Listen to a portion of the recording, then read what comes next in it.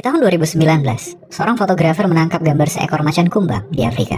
Ini peristiwa langka, diperkirakan pertama kali terjadi dalam 100 tahun terakhir. Tapi tahukah kamu, kenapa makhluk satu ini sangat jarang terlihat? Di alam liar, ada beberapa hewan yang bisa terlihat sangat putih. Ini terjadi karena mereka kekurangan pigmen melanin, pigmen yang memberi warna pada rambut dan kulit. Hewan-hewan ini kemudian disebut albino. Tapi ada juga kebalikan dari albino, yaitu hewan melanistik.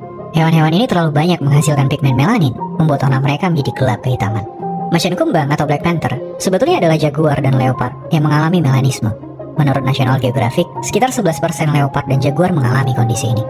Tapi biasanya terjadi di Asia dan Amerika, dan sangat jarang di Afrika.